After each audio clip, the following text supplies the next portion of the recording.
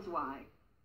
Jesus, Mary and Glavin, these shoes are in the off position. You mean I danced all by myself? See, honey? All you needed was to believe. What are you talking about, Professor Frink? They're clearly in the on position. See? On.